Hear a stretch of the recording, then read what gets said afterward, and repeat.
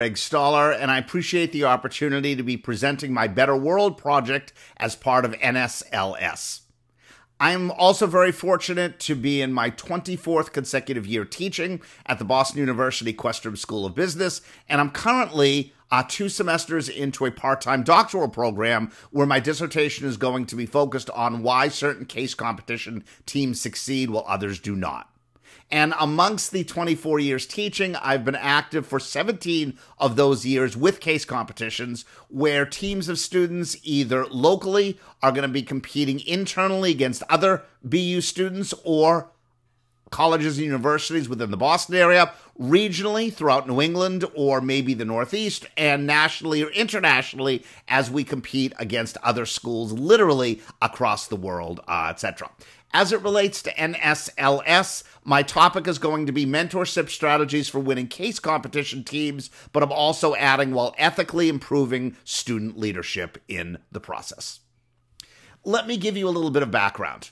I've been active, as I mentioned a few moments ago, with case competition teams for 17 years, and really most of our record keeping has focused around rank how those individuals and teams have fared against other universities, the number of teams they were competing with, whether we won any awards, etc. And again, this data has been helpful, uh, especially anecdotally, in terms of running better programs and better preparing our teams to compete. However, over the past four months, I have engaged as part of my doctoral work in a more methodical process.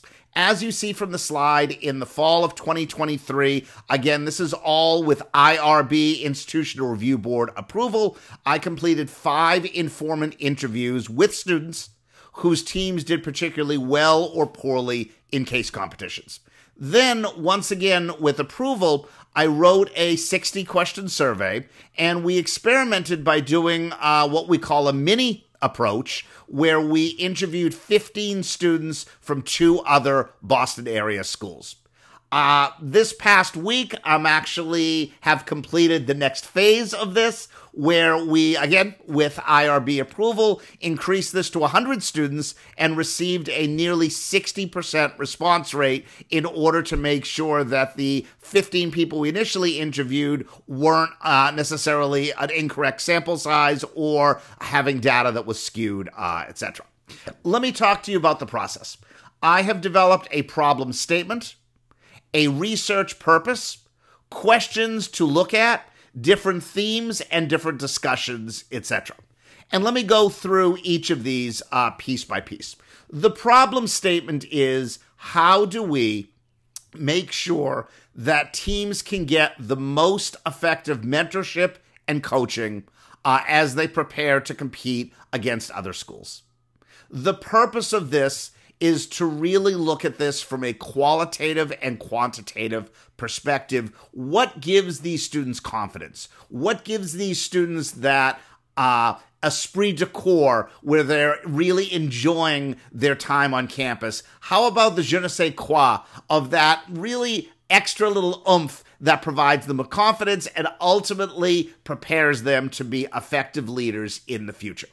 In terms of research questions, I am trying to figure out the reason why teams are successful and not successful. Is it possibly the quality of the mentor? Is it possibly that we are forming the teams for the students versus the teams forming on their own? Is it the amount of time that students are preparing? Or is instead the amount of time that students prepare analyzing this information, then writing their slides, uh, etc.? Or perhaps the answer lies in effective Q&A we looked at a number of different themes in terms of the qualitative portion of this project. We also had sub themes as well. Some of these ranged from mentorship strategy to the importance of teamwork to ultimately building self confidence uh, and effectively preparing, analyzing, and delivering data. And as you will see on the slides that follow, we took a very quali- quantitative approach to this to make sure that the data was intact. These were our preliminary findings. There is a 59.34% R squared correlation between the amount of mentor hours and effort teams made in terms of directly affecting their competition rank. So that probably in and of itself is not that surprising. The harder you work and the more guidance you get, the better you'll do. But what was equally surprising, and again, remember this was multiple universities. This didn't just include a sample of Boston University students or Boston University undergraduate students. We went undergrad, we went grad. What was equally surprising were the variables that had no effect.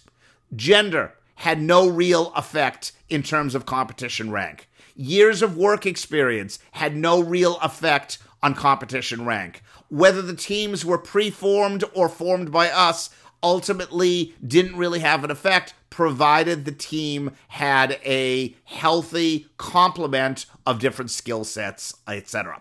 Finally, I completed a word cloud analysis that was more of an open answer question, uh, and that indicated really what the students got out of the experience, etc. And not surprisingly, the number one and number two areas that they talked about the most was increasing self confidence and increasing teamwork. And as I mentioned a few moments ago, we segregated this by male and female data, and those results were quite similar, uh, etc.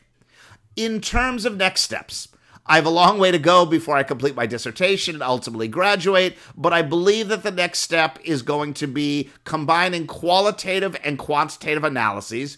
I've spent a lot of time over the past two semesters writing about this qualitatively. The quantitative piece has been the first step in terms of the numbers. Uh, as I move forward with my coursework, I'm trying to get some of this work published, as well as focusing on the different methods, study limitations, uh, and other areas that need to be focused on uh, in the future. If you have any questions, please feel free to reach out to me. You can reach me through NSLS or through my Boston University email address. Once again, thank you for the opportunity to uh, pre- present to you today. I've really appreciated these two additional courses that I've taken and look forward to continuing to add value with our students as we develop mentorship strategies for winning case competition teams while ethically improving student leadership in the process. Thank you.